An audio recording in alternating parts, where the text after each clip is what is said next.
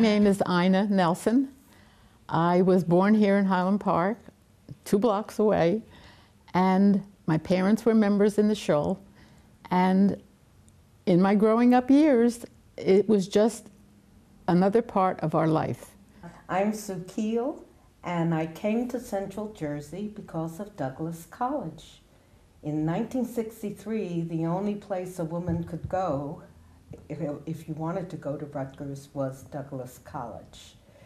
There I met Rabbi Julius and Pearl Funks of blessed memory, and uh, they opened up the wide, wonderful Jewish world to me.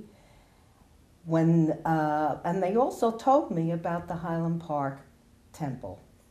My father was very involved in the temple, and on Sundays, whatever was going on, whether it was show business or a softball game in the park, I was always with my father wherever he went. And that's how I grew up in the temple. Friday night services were a very important part of my life. That was a punishment if I couldn't go to shul on Shabbos if, for any reason, if I was sick. It was just an extension of my life. Uh, after we got married in 1966, we asked uh, Rabbi Julius uh, how, uh, where he went when school was not in session, and he said, the Highland Park Conservative Temple and Center. And we came and we listened and we said, you know, this is, this is a really nice place. It was very comfortable living in town.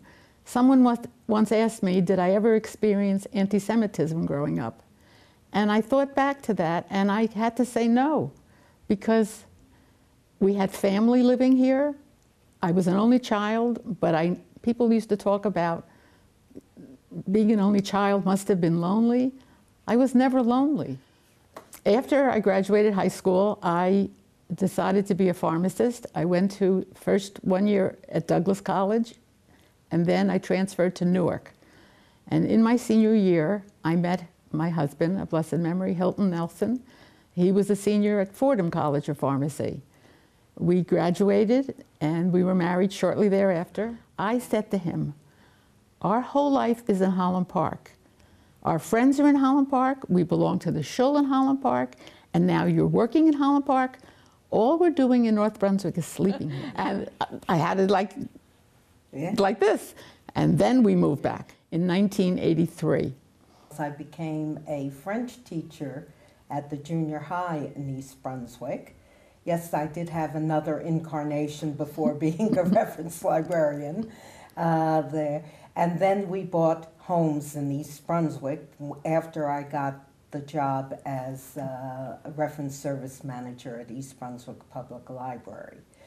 Uh, and we too we were active or in the Highland Park Temple, and we saw that a lot of our friends who were Shomer Shabbos, of course, we would have to find an opportunity to entertain uh, when it wasn't Shabbos or a Chag. And this kept on to the point where we said, this is ridiculous. We have to be in the community. When we bought our first house in 1967, was the beginning of um, my husband Hilton and myself and our children. And then I got involved in sisterhood. My mother was way ahead of me all the time because she was always involved in sisterhood. And it just became a path that you follow without realizing it. But the main goal was to keep the family in, within the Jewish community to give your children a Jewish education, and this becomes just an integral part of your life. We joined the synagogue in 1976. We were then living in East Brunswick. Uh, our daughter was born in 1972, but we saw that we wanted her to be with other young Jewish children and we heard about this wonderful teacher that really, really the children loved to come to shul. And we and then we said, oh, that sounds like something we'll want Marcia to be, our daughter Marcia, to be involved with. And sure enough, uh, she became uh, part of Morah Marlene's class, and uh, it became a way of life every Shabbos morning. I was a librarian. The library here was, uh, let's say, a little bit neglected in the 70s uh, there. They finally asked Sue, is there something you can do for the library? And of course, that was a natural opening. Also, when we had we had all of these expos and some research had to be done, it was a part of both Brian and I. He loved to research everything uh, there, so we we were a team in that, and we became very involved with. Uh, most of the expos from uh, the late 70s to, uh, I guess it was through the 1990s. In our early years, professionally, both Hilton and I are pharmacists. We had a store. And with your own business, it is a very time consuming process.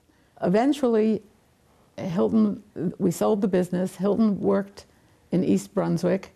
And that's when we started becoming more involved in the temple as the children were getting older. Then he came to work for Donald Weist, who owned Drug Fair in Highland Park. So besides being involved in the temple, we had friends, we were involved. he developed a relationship with the bigger Jewish community. And even people who weren't so active in the temple got to know him in another way. He became an integral part of both the temple and the, the Jewish community. One of the things that happened when he was working at Drug Fair there was a growing concern about kashrut for drugs. And certain drugs had OUs on them, talking about vitamins, things people, not only prescription drugs, but over the counter drugs.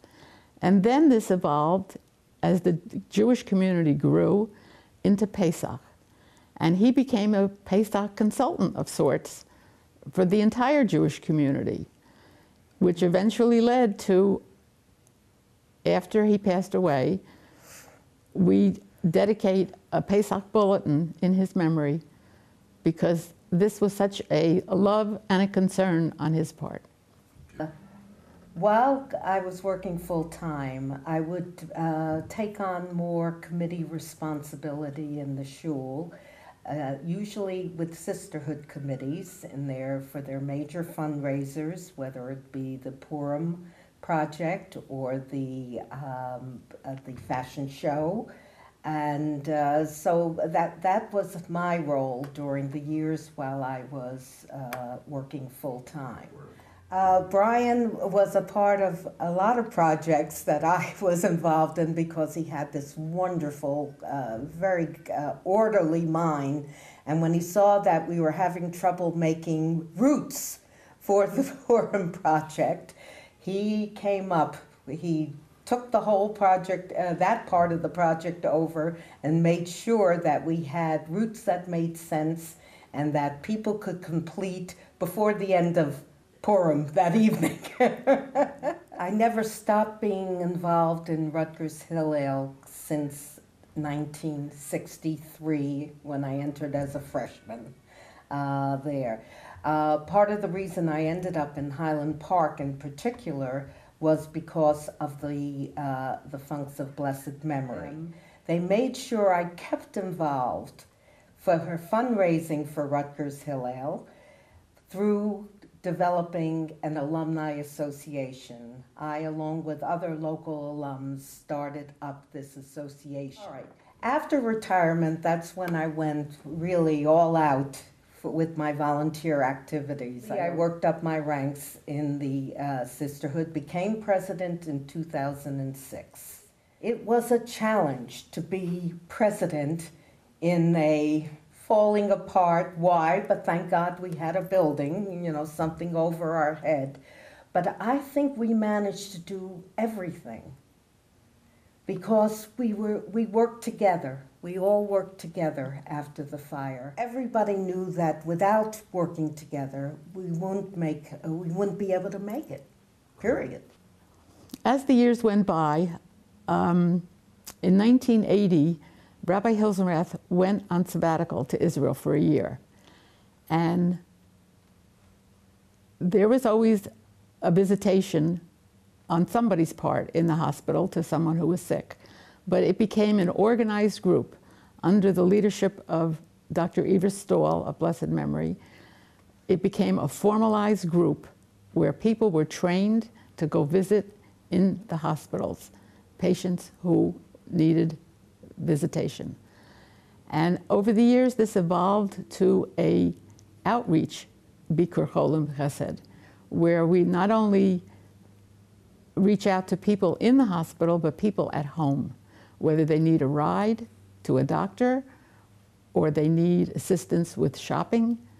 It's just a connection to the people who physically can't always get to the temple, and it could be just a friendly phone call. Now that we have uh, two Torah reading services in the temple every Shabbos, there is a group that meets in the sanctuary and another group meets in the Beit Midrash. We alternate each week. One week it's egalitarian in the main sanctuary, and then and the other week it's the Moreshet okay. group. I became one of the coordinators of the Torah readers for the Moreshet Minyan. And over the years also, on Shabbos morning, especially after we moved into this new building, we developed a Shabbos morning greeter program where someone is in the lobby not only to greet our members, new guests coming into the building, um, and just to make them feel welcome as you would as someone comes into your home.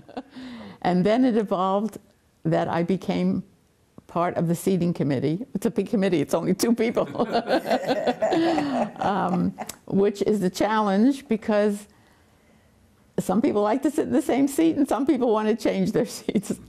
From generation to generation, my children, Marcia and Phil Goldwasser, my grandchildren, Avi, Noam, and Shana Goldwasser, are all involved in this shul. So obviously, I hope that we remain as vibrant, as as we are now and have been in the past? From my past experience, which is my life, I would hope that the future of the Highland Park Shul, the temple, is so entwined in the community that families will continue to gravitate to Highland Park and nurture each other and be part of this greater Jewish community. You say family. We're all extended family in one way because you develop relationships by working on expos, by working on committees, by serving on the board. You get to know people, and that's how you become friends. And I hope the temple's future is bright.